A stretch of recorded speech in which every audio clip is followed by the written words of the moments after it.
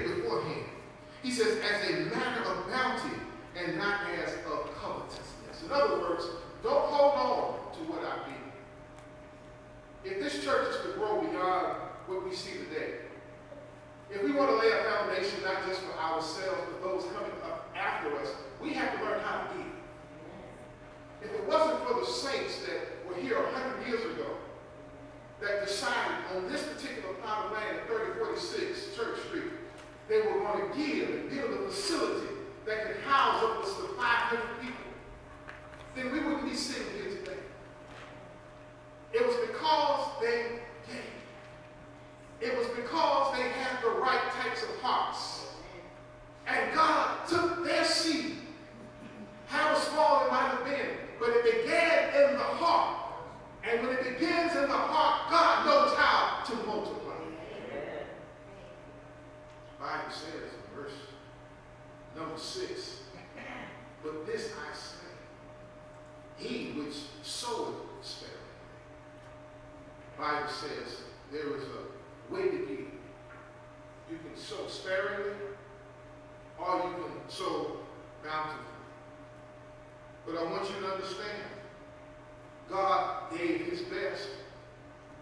And if we want to be like God, we too must give our best.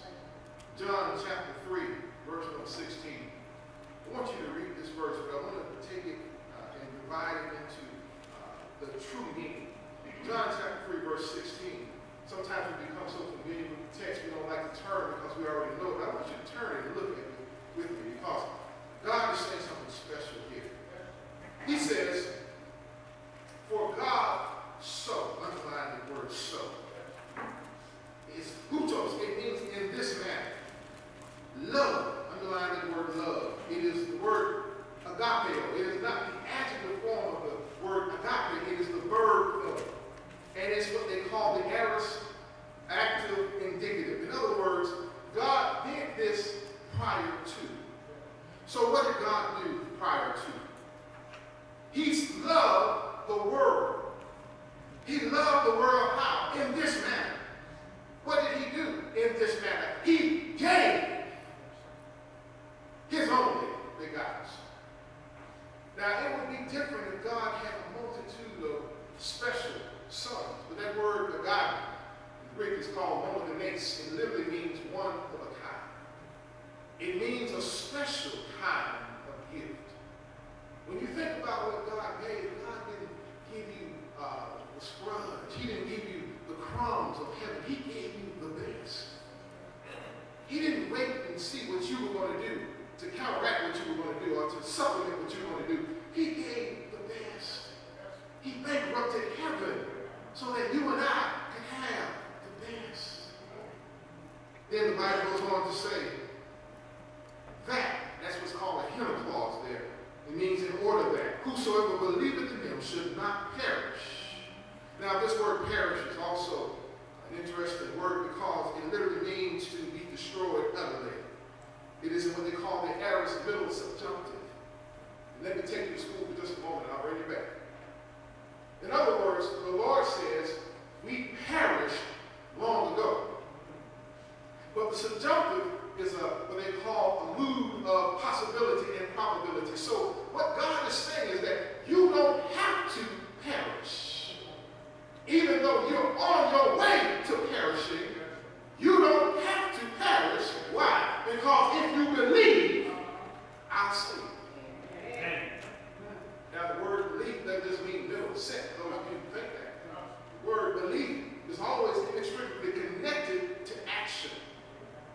Paul writes, we are saved by grace through faith, and not by works.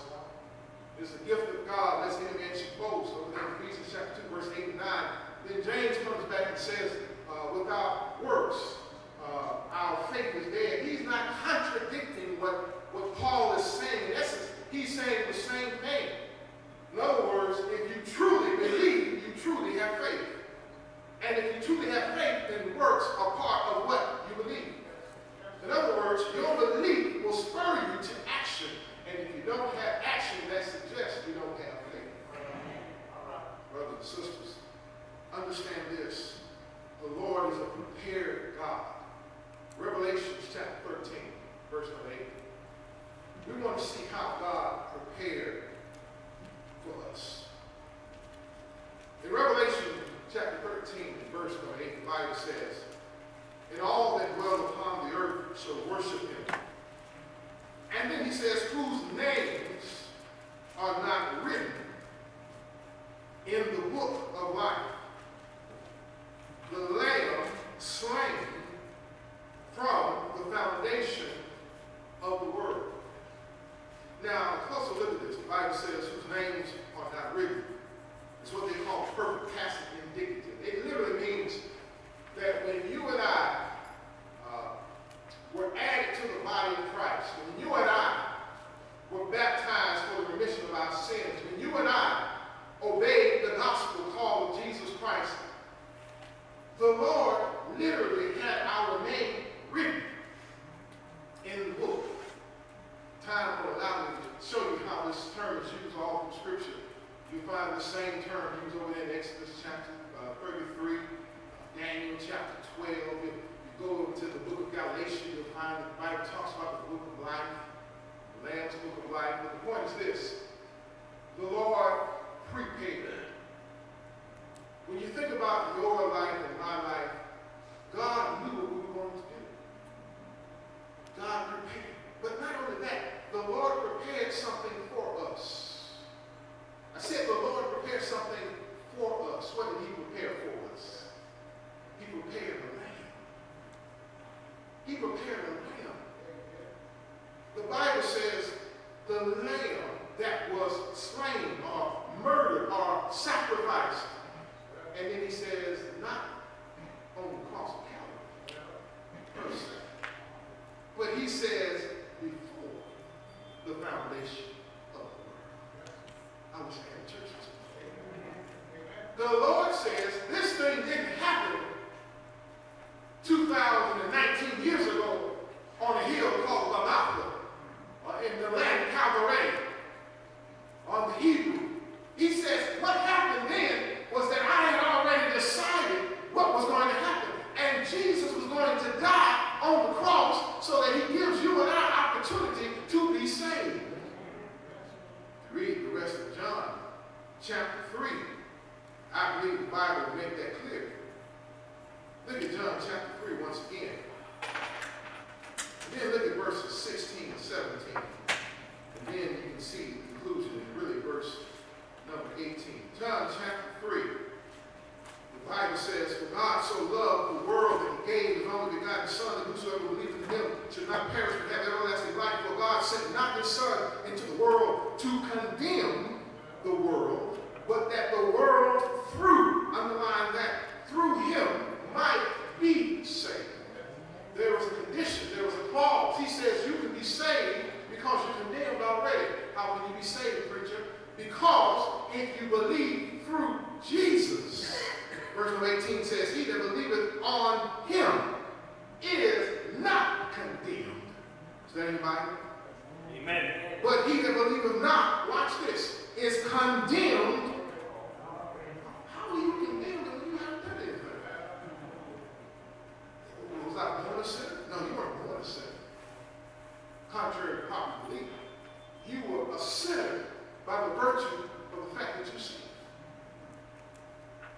I'm looking at the sheep this morning. Do we have any sinners in the house? Anybody saw them? Amen. So this is pertaining to you then.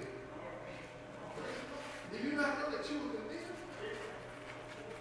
Let, let me, let me, let me break it down, because sometimes the Elizabethan language is so beautiful, and it doesn't have to say, you going to heaven. Does that make sense? Is that clear? But the Lord says, I came so that you won't go to hell. But Jesus, I'm a good person. I don't do much. I don't drink like I used to. Amen. Something like that. I, I, I, I give every now and then. Amen. I got extra. The Lord says that's not good enough. Because you are condemned when you commit sin. Sin is the thing that separates you from a perfect God. In other words, in order for you to get right with God, you got to be into Jesus. The only way you get into Jesus, the Bible says in the book of Galatians, we all have been baptized into Christ. That means that we have all put on Christ. That means that after we die, Jesus will be on us. And when God looks at us to judge us, he won't see us, he sees Jesus. Amen.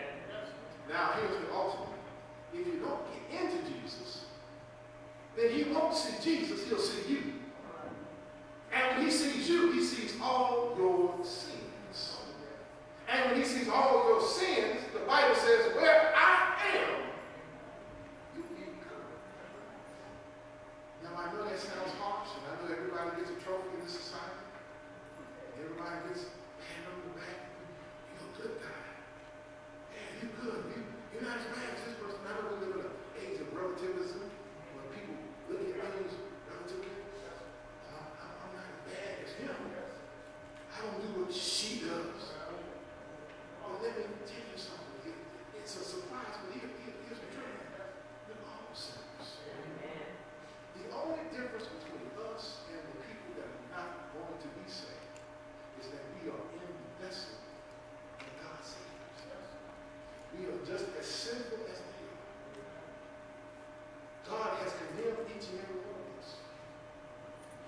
Difference is, if you want to stay out there, you're going to die like they're going to die.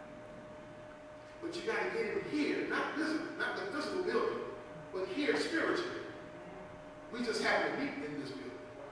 But you got to be here so that when the Lord comes a second time, and He's coming, He's coming, then you will be in His body.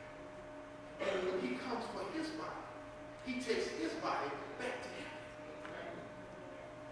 We're, we're going to deal with this, this false notion of the rapture. We're going to get into that next year. Next year's going to be a year, Lord willing, that's going to be really, uh, we're going to shake some faces. We, we're going to make some people mad, but it's my task as the evangelist here to teach because when you go to meet the Lord, hope no time soon. But when you stand before the Lord, my blood is on your hands.